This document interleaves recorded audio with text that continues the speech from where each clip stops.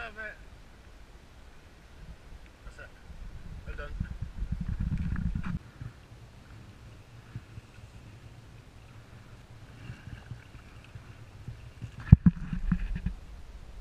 Just take, take your time.